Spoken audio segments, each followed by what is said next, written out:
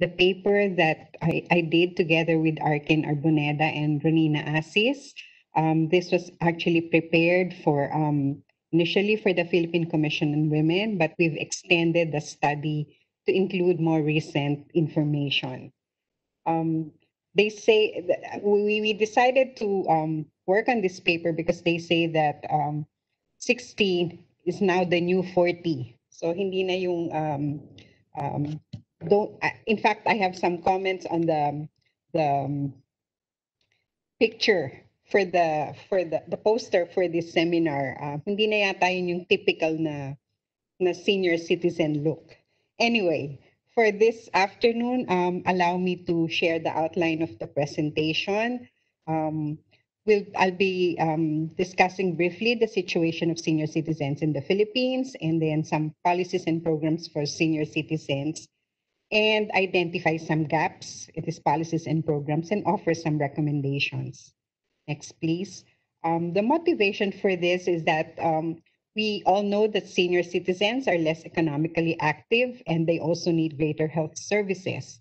So what are the policies and programs to provide income support and health services to senior citizens?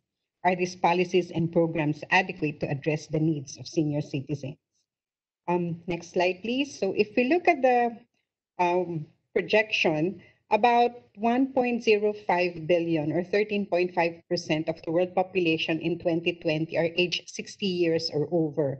And this is projected to increase to 1.41 billion or 16.5% of the total population by 2030. And then to increase further to 3.07 billion or 28.2% by 2100.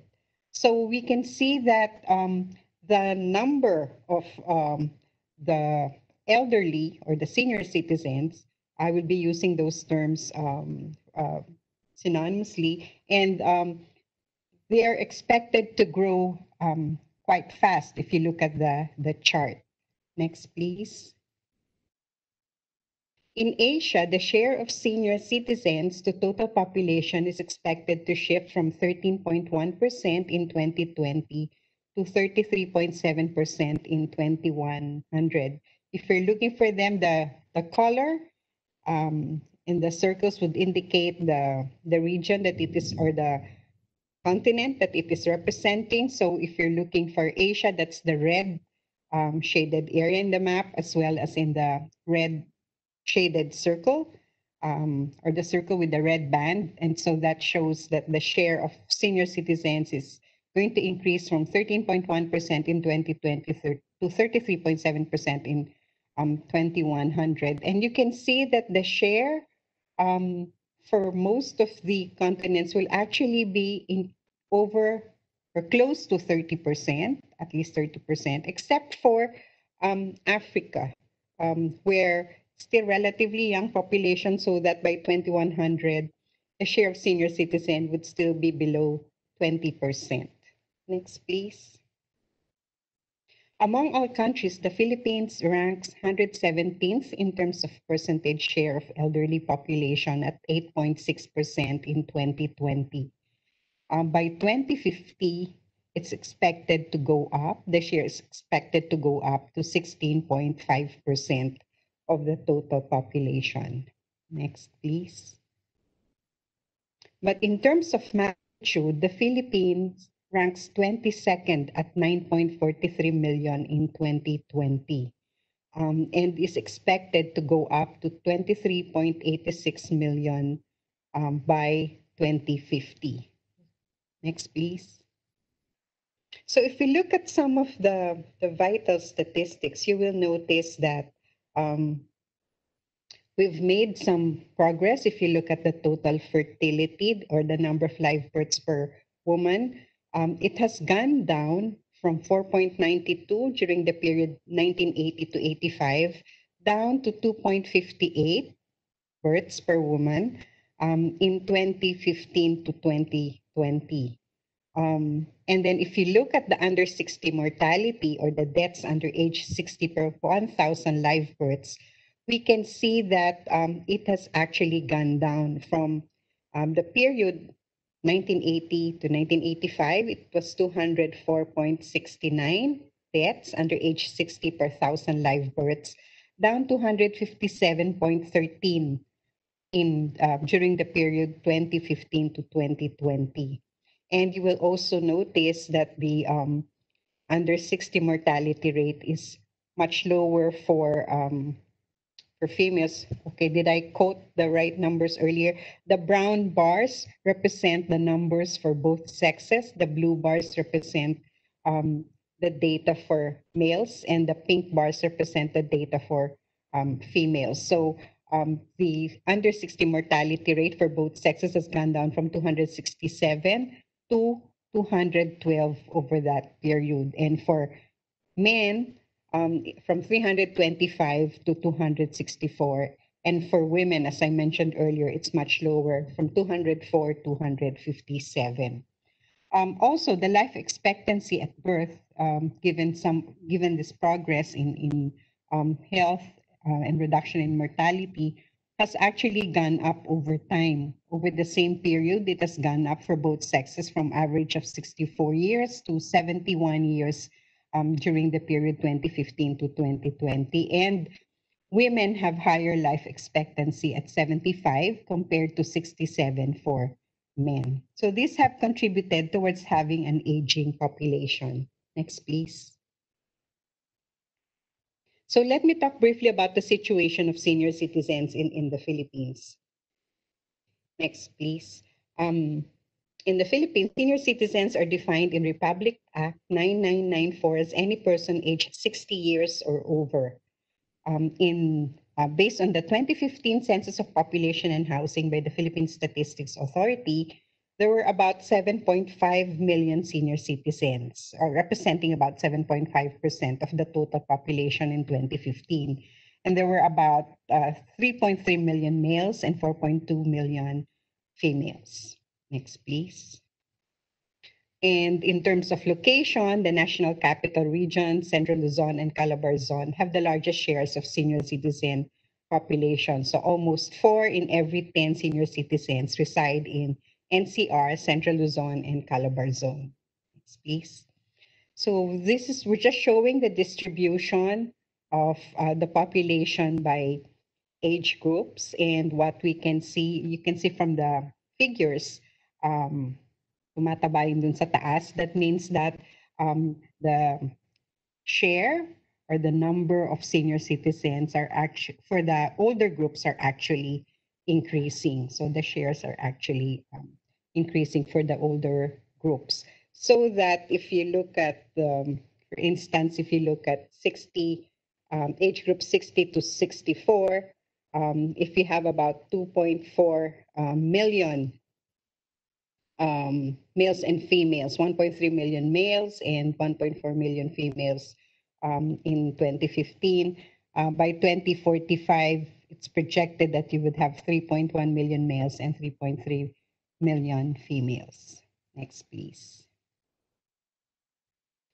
Um, many senior citizens struggle with poverty. So among the estimated senior citizen population in 2015, using the data from um, the Family Income and Expenditure Survey, um, there are actually um, about 890,000 senior citizens who belong to families classified as income poor, and about 300,000 uh, senior citizens belonging to families classified as food poor.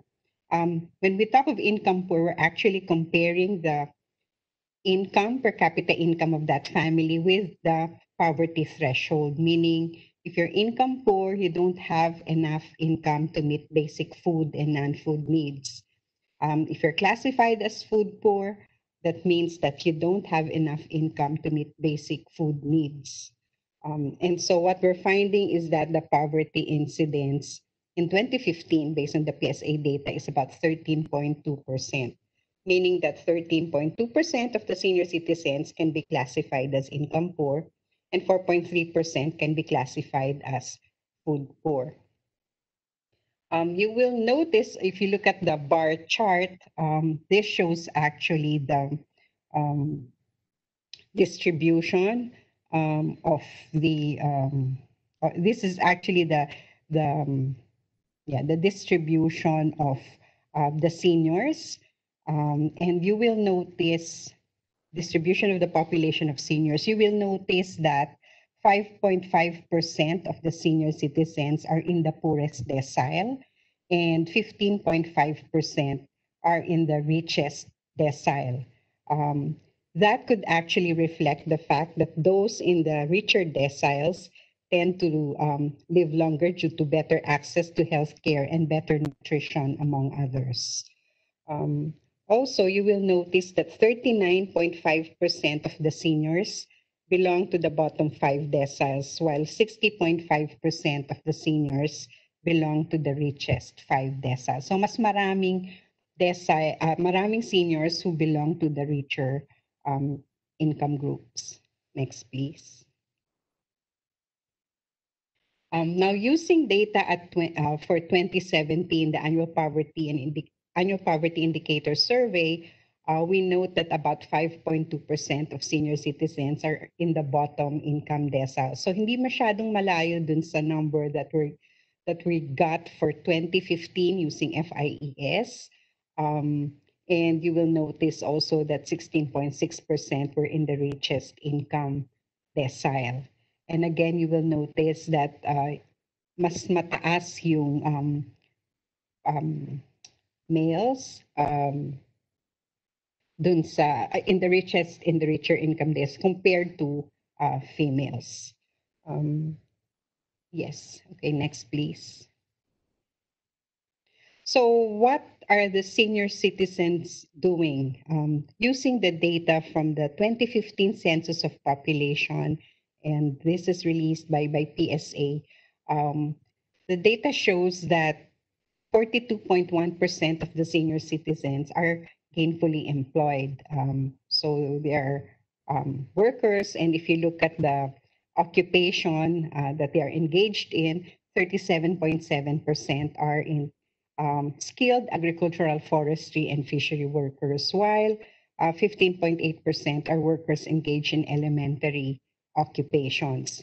What about the rest of the senior citizens? 22.3% are pensioners, retired and disabled, 20.8% are housekeepers in own house, and 14.8% are students and dependents. Um, I didn't show you here anymore uh, the full table on educational attainment, but uh, we noted that about 51% um, of senior citizens completed at most elementary education, and about a fourth of them um, have at least some high, high school um, education. Next, please. Um, when comparing across different age groups, we find that senior citizens are less economically active, um, defined as do not have a job or business, than younger age groups. So, for instance, if you look at the uh, bars, um, the first bar, orange, um, refers to all age groups. And then the next bar represents age group 30 to 39. And then the next bar, um, light green in my uh, computer, um, rep represents the age group 40 to 49. And then um, the next one is 50 to 59. And the last bar, which is dark brown, um, represents the age group 60 and above. You will notice that the bars, the first four bars are close together. Um, and then the one for the age group 60 and above falls down drastically. Um, they, their, um, the proportion of population have work or business for the 60 and above is much lower than those for the younger age group. So for instance, if you look at the rightmost uh, side, that's the data for 2017.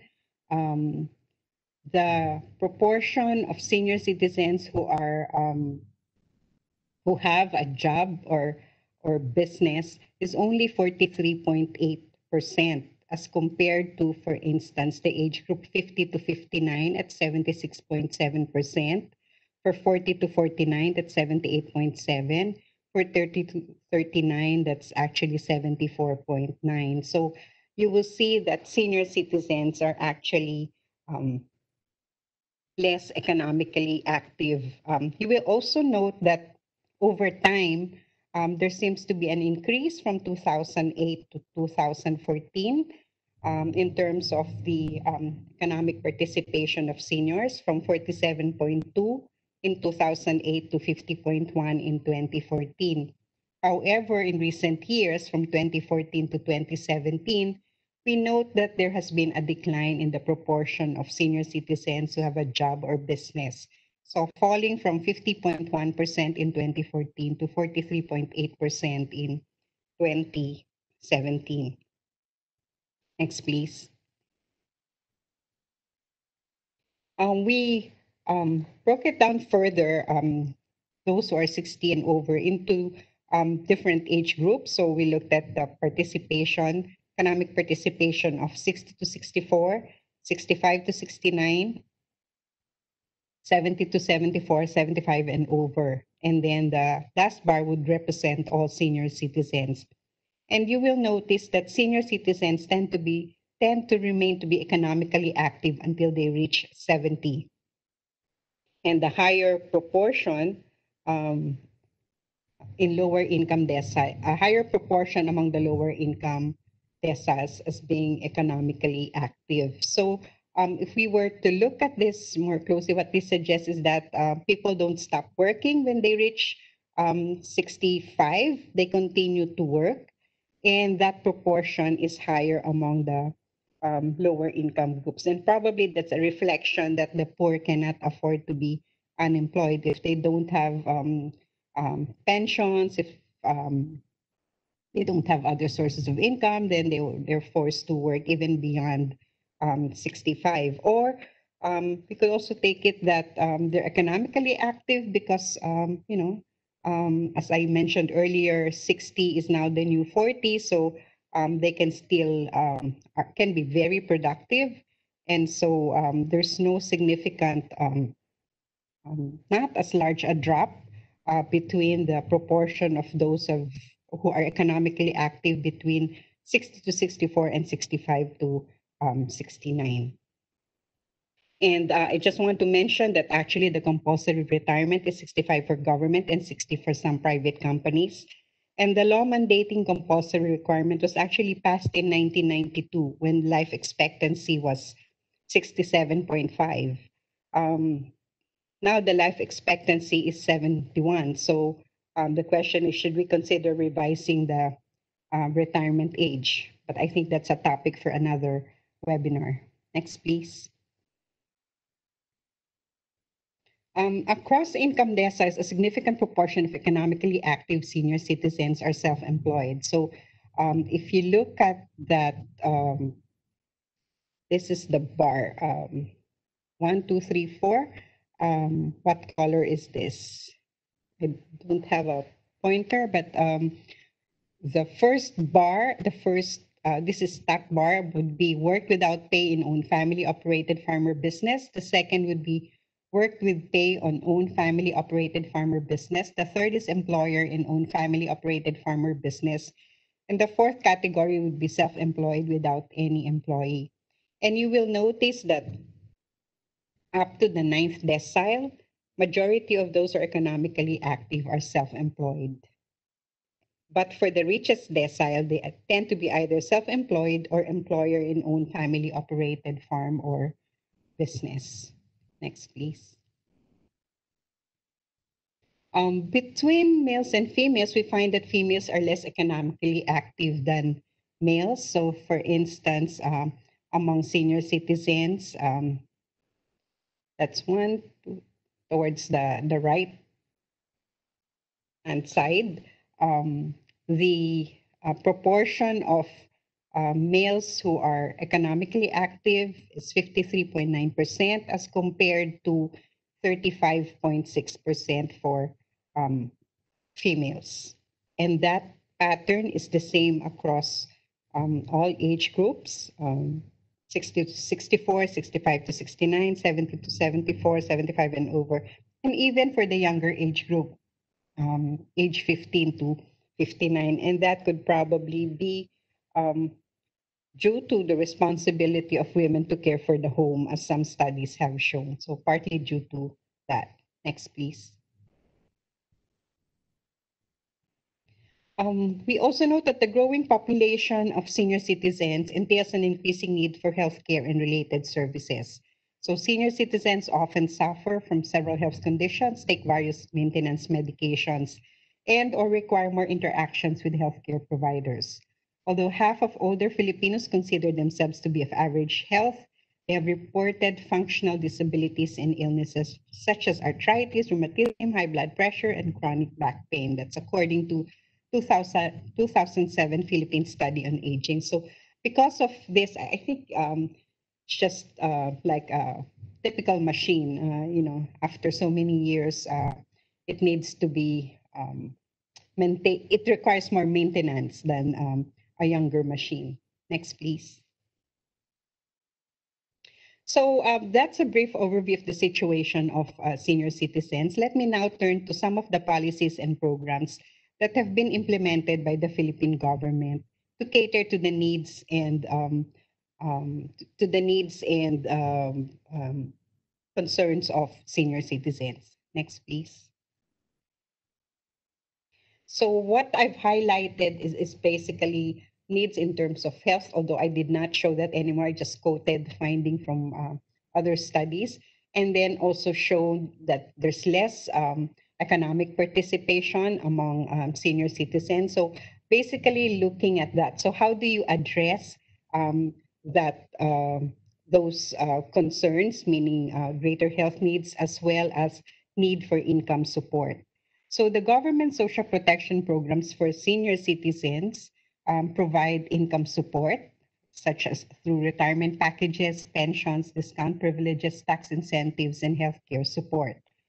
Um, social protection programs for senior citizens include senior citizen discount and tax incentives, contributory pensions such as from SSS and GSIS, non-contributory pension, um, what we call the social pension program being implemented, and then PhilHealth and also other incentives that could be provided by um, even local government units. So if you turn to contributory pension that's being managed by SSS and GSIS. We have for the public sector um, the GSIS program wherein retirees are provided with retirement packages depending on their years of service in the public sector.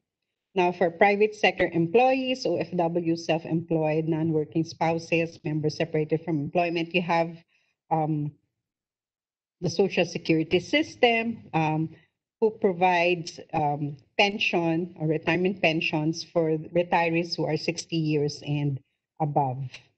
Now, we also have, in addition to that, the National Health Insurance Program, wherein senior citizens who are not covered by any of the existing membership categories of PhilHealth are automatically enrolled in the government's health insurance program.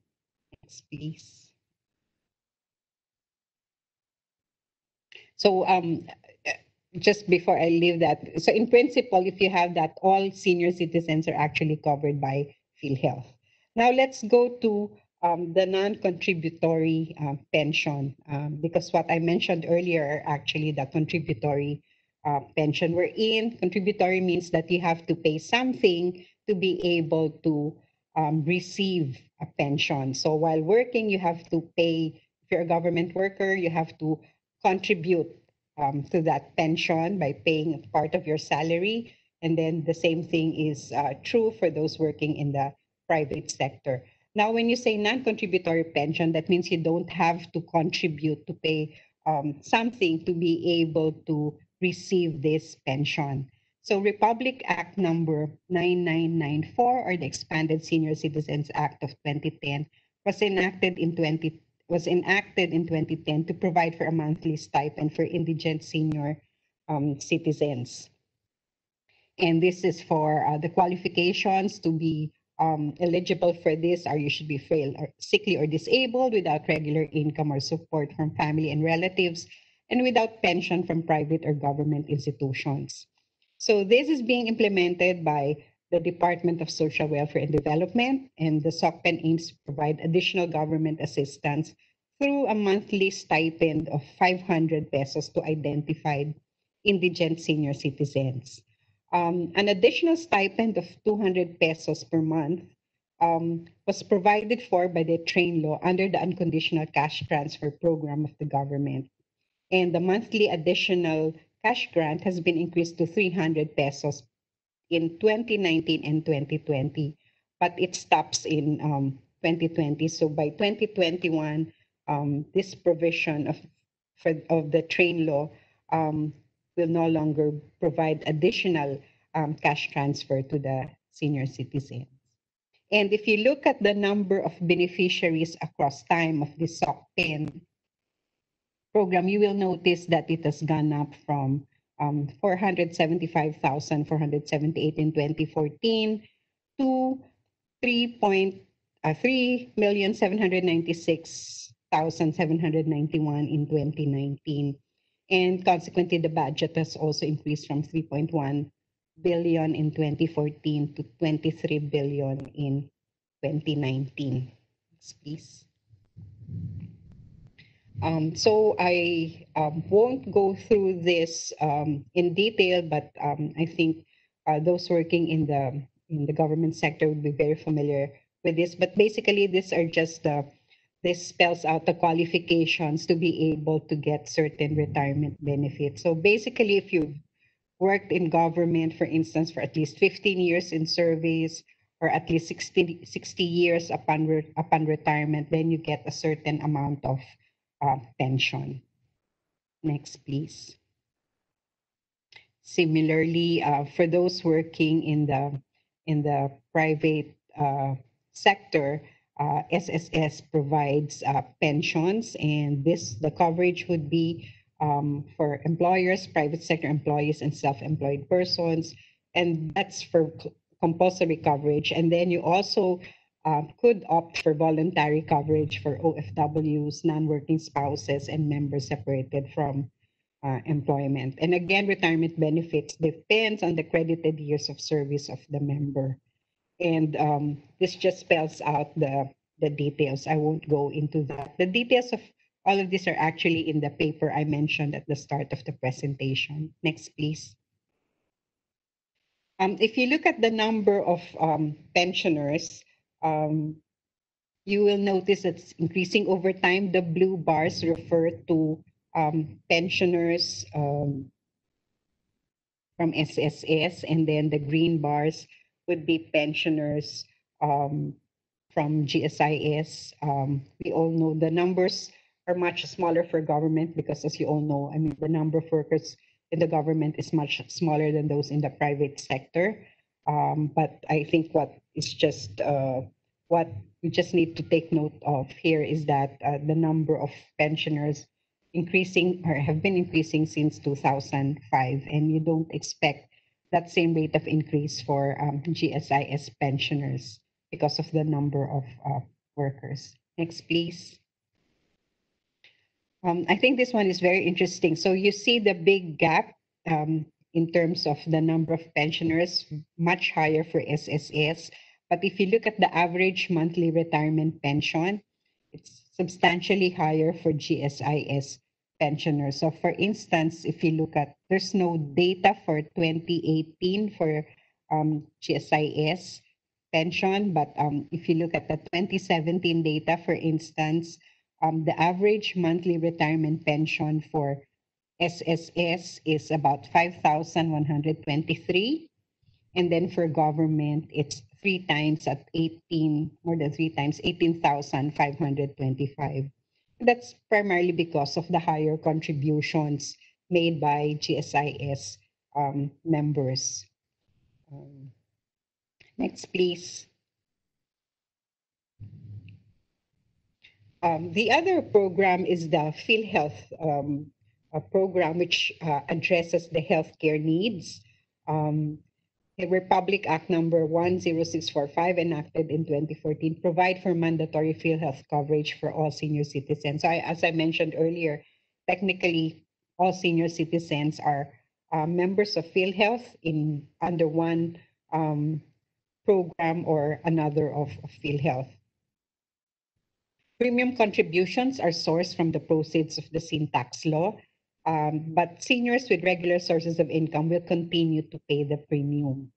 And the benefits include fixed case rate for inpatient services in private hospitals. Um, although one would note that um, the case rate would probably be is probably much lower than the actual cost um, in the private hospital. No balance billing for inpatient services in public hospitals, outpatient benefits enjoyed by PhilHealth members in other membership categories, um, Z benefit packages for illnesses.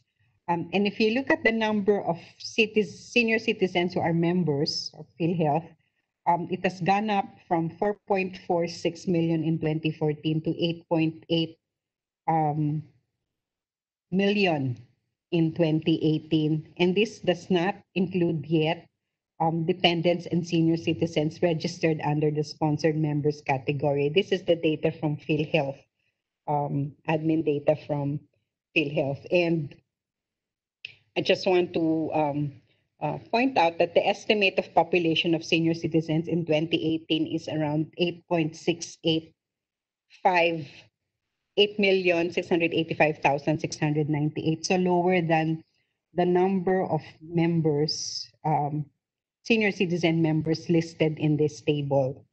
So there might be some double counting uh, of senior citizens in the PhilHealth data since a senior citizen may fall in more than one category. Next, please. Um, in addition to that, senior citizens or minimum wage earners are exempted in paying individual income tax. Uh, Republic Act number 9994 grants to all senior citizens the following incentives and benefits. So for instance, um, uh, you get 20, I, I get 20% discount plus VAT exemption when I go to restaurants, um, vacation centers, uh, even local airfares, hotel and lodging, um, admission fees to uh, places of culture, and even medical uh, related expenses such as um, medicines. Um, there are also other benefits and incentives like free training fees for socioeconomic programs conducted by private and government agencies, free medical and dental services, and diagnostic and laboratory fees, educational assistance, um, priority. Okay, like this one, priority in queues, you don't have to, um, you have a separate queue, um, and then you get 100,000 cash grant upon reaching the age of 100 years, and other benefits and incentives provided by local government units. Next, please. So, um, so basically, you would have noted that I focused on programs that are intended to provide income support and also to address healthcare needs of the elderly. So now let me turn to um, what are the gaps in these policies, specific policies and programs. Next, please. So if we look at the access to social protection programs, you will note that 5.7 million or about 7 in every 10 senior citizens are covered in at least one of the income support programs. SSS, GSIS social pension, or PhilHealth um, based on the data in 2017. Also, 2.5 million or every three in every 10, or about eh, three in every 10 senior citizens are covered in PhilHealth plus at least one of the income support programs. And we note that 26.8% of the females are covered in, um, they have at least PhilHealth plus one of the income support programs. Uh, but this is lower than the coverage for males, which is 34.4%. So again, medyo mas um, lugi yung mga females when it comes to coverage of PhilHealth plus at least one of the income support programs. So the bottom chart would show um, the proportion of senior citizen population covered in at least one social protection program. So um, this corresponds to the first number I quoted you that about seven in every 10 are covered in at least one of the one of these programs. And if you look at the coverage for those in the poorest income decile, it's only 56%. So only 56% of those senior citizens belonging to the poorest decile would have one of these um, um, social protection programs as compared to 80% for the richest income decile. So yung mga nandun sa richest decile tend to have greater access to, to uh, at least one of these uh, programs. And also, again, we note small, lower access for females compared to males. So um, if the access of males is, if, if 71% of the males have access to at least one of the social protection program, only 65% of females have access to at least one of these programs. Next, please. Um, and then in terms of access to SSS and GSIS, um, 27.7% or about three in every 10 senior citizens were covered under GSIS or SSS in, in 2017. Um, and as I've mentioned earlier, um, the minimum basic monthly pension for um, GSIS members is 5,000, higher than the that for SSS at 2,000. Uh, and in terms of, that's the minimum. But if you look at the average basic monthly pension, uh, as I highlighted earlier, for GSIS, it's 18,525 and it's 5,123 for SSS. Now, the proportion of senior citizens with SSS GSIS by income decile um, is shown in, in the chart at the bottom, and you will see that um, those in the lower income groups uh, would have lower um, proportions of senior citizens that are covered by this contributory pension. And um,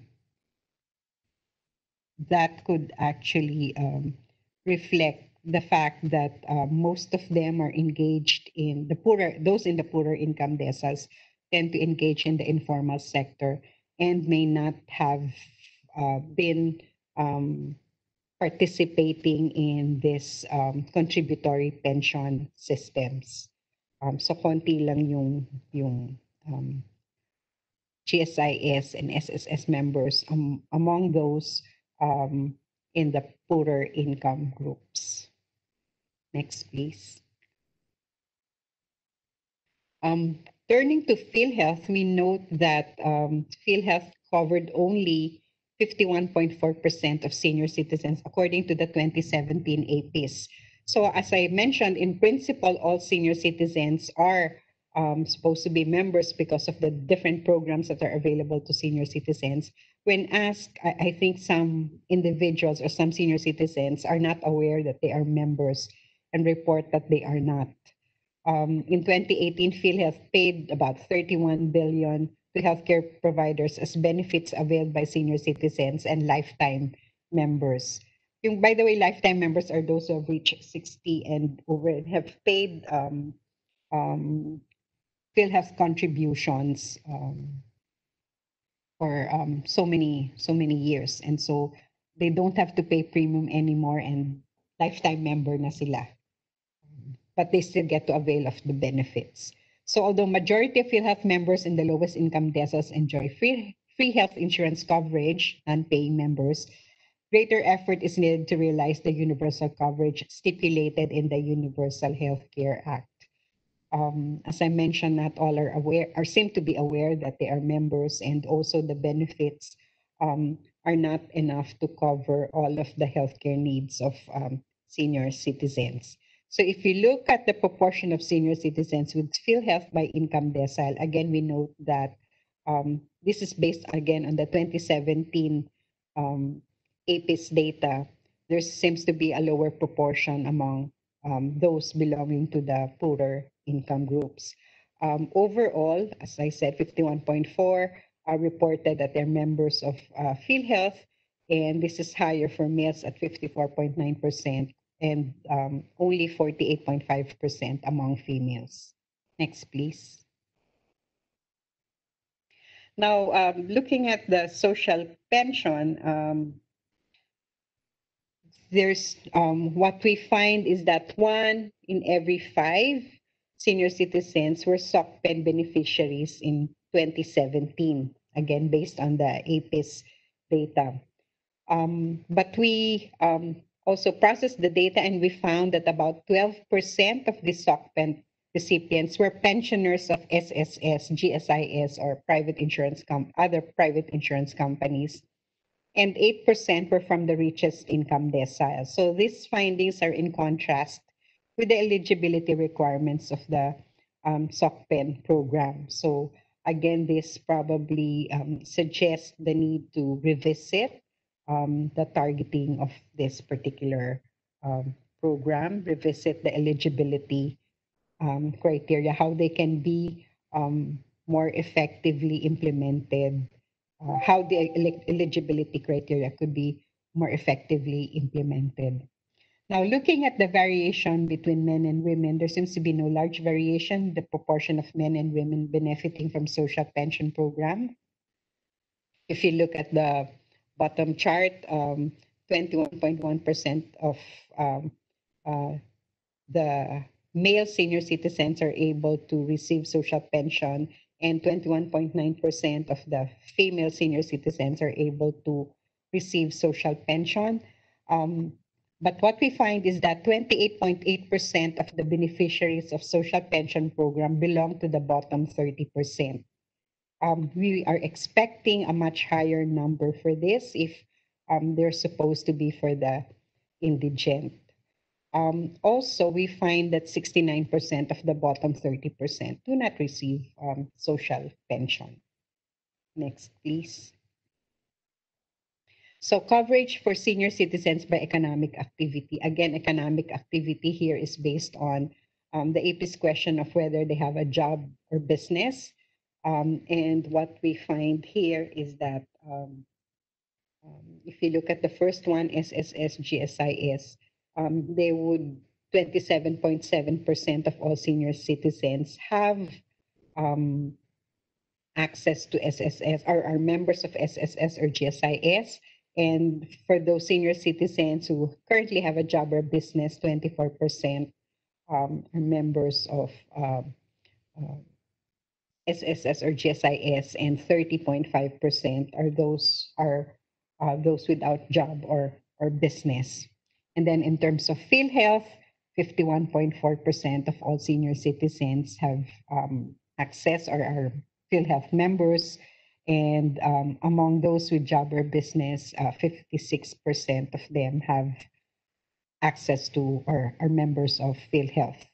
And 47.7% of those without job or business are covered by PhilHealth. Now, among social pension uh, beneficiaries, um, 21.5% of all senior citizens are um, are beneficiaries of social pension and um, 20.9% with job or business. 20.9% uh, of those with job or business are social pension beneficiaries as compared to 22% for those without job or um, business. Um, if you look at the chart, you will notice that um, for health, it's more evenly distributed because it's not really based on um, economic status. So the participation or proportion of senior citizens by income decile is not as um, as um, uh, different across um, income deciles, although still a bit lower for the poorer income deciles. If you look at SOCPEN, this is what we would expect, higher proportion um, among the poorer income groups because in fact we are targeting this to benefit the poorer income groups.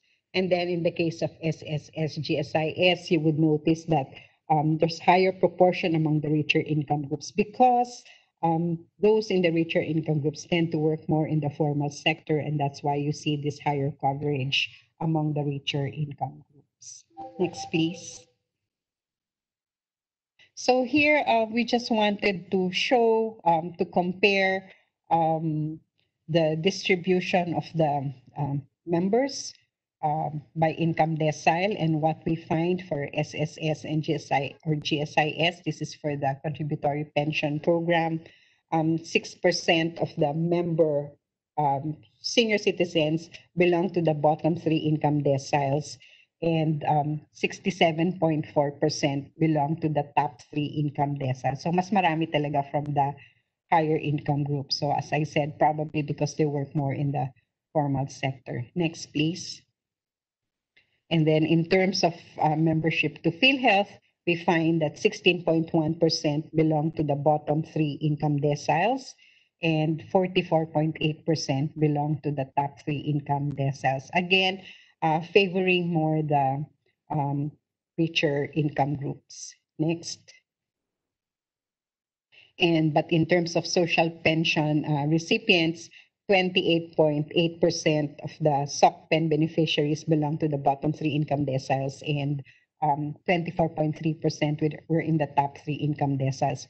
We would expect, uh, you know, uh, probably a bit more um, bias towards, we're hoping that it would, the number would be greater than 28.8% for the poorer income groups. Next, please. Just have a few more um, slides. So um, for the other citizen discount and tax incentives, um, um, households in higher income deciles spend more on goods and services in which senior citizens are entitled to discount and tax exemption privileges. Um, and consequently, they, the richer senior citizens tend to benefit more from discounts and exempts, exemptions as they spend more on the goods and services that are entitled to these privileges. So what the table shows you would be the average annual spending on selected goods and services of households with at least one senior citizen member using the data from the 2015 FIES. And these are the categories which have, um, which allows for 20% discount in VAT um, exemption. Um, and you will see, for instance, that, uh, okay, restaurants and, and hotels um, those in the first decile, the poorest decile, would spend on the average per year 3,734 on restaurants and hotels as compared to, um, if you look at the richest decile, 35,282.82. And so what this is saying is that since the rich tend to spend more on these particular categories, then they tend to um, benefit more um, because they I mean, the poor don't usually eat out a lot uh, as compared to those in the higher income group. So they would tend to benefit more from this senior citizen discount and tax incentive. Next, please. So basically what I've done is just to focus on a few. As I said, uh, that was the intent to focus on those programs that uh, tend to provide income support as well as to provide healthcare services. So um, let me just summarize the findings before I go to a few uh, recommendations. Um, population of senior citizens is estimated at 9.43 million in 2020, constituting 8.6% of the total population.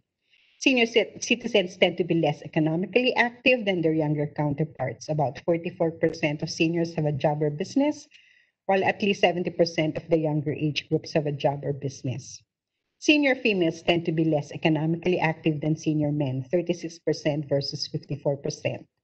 About 13% of senior citizens belong to families that are income poor, uh, based on the 2015 data. Moreover, 39.5% belong to the poorest five deciles and 60.5% belong to the five richest deciles. As I mentioned, this is primarily due to the better health and nutrition um, um, being um, experienced by those belonging to the higher income groups. Next. And the, uh, nevertheless, the elderly need greater health services, as has been documented in many other studies. Um, only 27.7% of seniors are SSS or GSIS members, higher for men at 32.7% and 23.6% for women. There's low membership among the poorer elderly due to the nature of their work.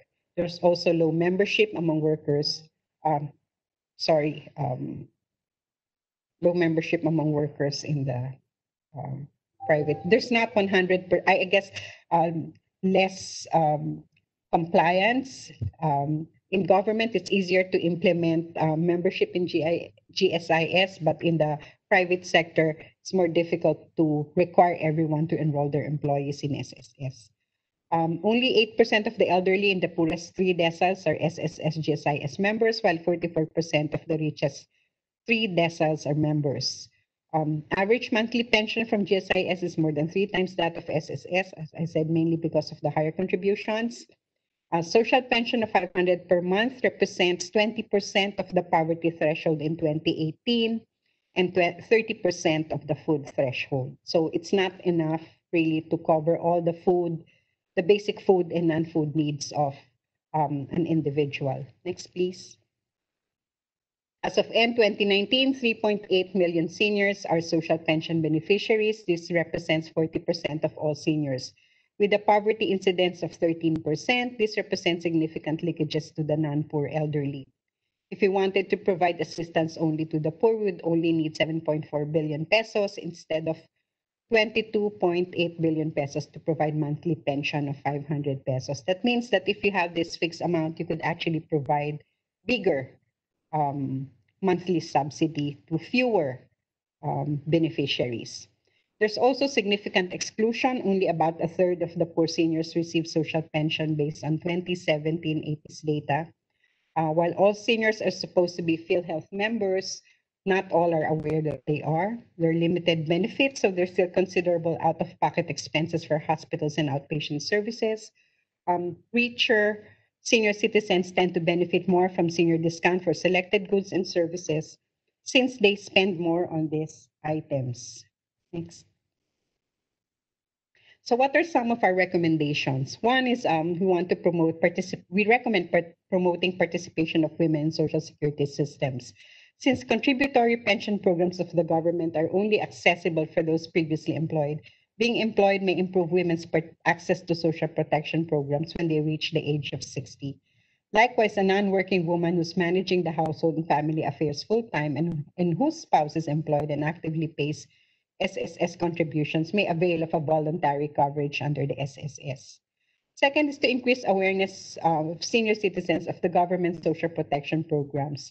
Focus must be given to poor senior citizens and those in disadvantaged sectors to identify and address any access issues to these programs. Third is improve the targeting system for social pension for indigent senior citizens.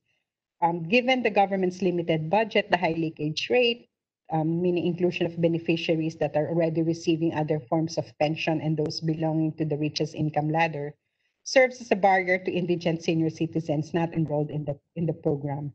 Having a comprehensive database of senior citizens and a better targeting system may improve access of indigent seniors. Next, please.